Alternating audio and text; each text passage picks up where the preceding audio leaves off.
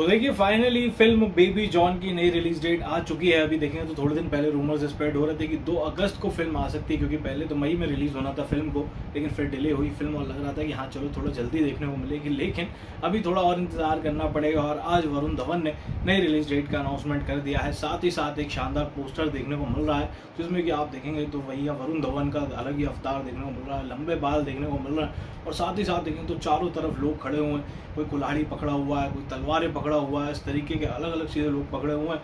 और साथ ही साथ भैया वरुण धवन देखने को मिल रहा है। वो हाथ में पेन या पेज का जो कुछ पकड़े हुए नुकीला सा। तो खतरनाक मार धाड़ देखने को मिलेगी, ज़बरदस्त एक्शन देखने को मिलने वाला है फ़िल्म में। और फ़िल्म हमें अब देखने को मिलेगी 25 दिसंबर दो हज़ार चौबीस, यानी कि क्रिसमस के मौके पर फ़िल्म को रिलीज़ किया जाना है। काफ़ी ज़्यादा उम्मीदें, हालाँकि देखेंगे तो नेगेटिविटी भी काफ़ी ज़्यादा चल रही कि अरे रिमेक बन रही है थेरी तो सबने देख ली है, अब इसको कौन देखेगा, ये हो।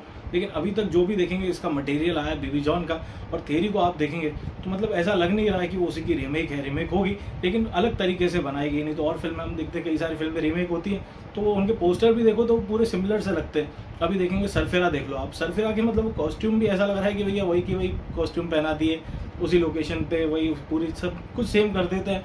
लेकिन यहाँ पे सारी चीज़ें अलग लग रही हैं। आप थेरी का टीज़र देख लो या थेरी पूरी फ़िल्म उठा के देख लो। और जो वरुण धवन की फ़िल्म बेबी जॉन का टीज़र आया था, वो देखो बिल्कुल अलग है। पोस्टर्स आए, पूरे सबके सब अलग आए। तो कहीं ना कहीं उम्मीदें काफ़ी ज़्यादा हैं बेबी जॉन से। और वरुण धवन का अलग अवतार इस बार देखने को मिलेगा। कल इस फ़िल्म का डायरेक्शन कर रहे हैं जो कि एटली कुमार के असिस्टेंट डायरेक्टर थे। तो ऐसे में देखते हैं, उन्होंने कैसी फ़िल्म बनाई है। पहले तो कहा जा रहा था कि एटली कुमार ही फ़िल्म का डायरेक्शन कर रहे हैं, लेकिन फिर वो जवान के बाद तो अलग लेवल पे जा चुके हैं। तो ऐसे में कलिस ने किया है फ़िल्म का डायरेक्शन कीर्ति, सुरेश वमिका गब्बी ये लोग साथ में देखने को मिलेंगी। पोस्टर अच्छा है और इससे पहले भी जो पोस्टर देखने को मिले थे, वो भी काफ़ी अच्छे थे। तो देखते हैं क्या धमाल मचाती है फ़िल्म। आपकी क्या उम्मीद है फ़िल्म से? कॉमेंट करके बताएँ।